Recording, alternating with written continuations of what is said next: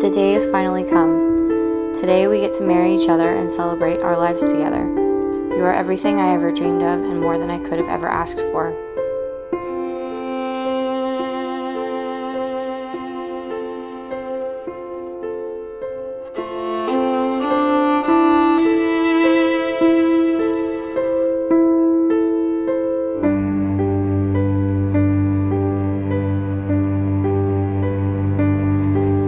Cannot wait to walk down the aisle towards you, take your hands, look into your eyes, and say yes to a lifetime with you.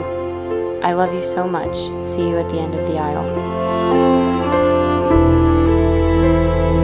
Derek is going to Afghanistan for conflict resolution, and God will be there. So may God bless this day and all the days of your life together. I take you to be my wedded partner, to have and to hold, from this day forward, to love and to cherish, till death us do part. And to this I pledge you my faithfulness.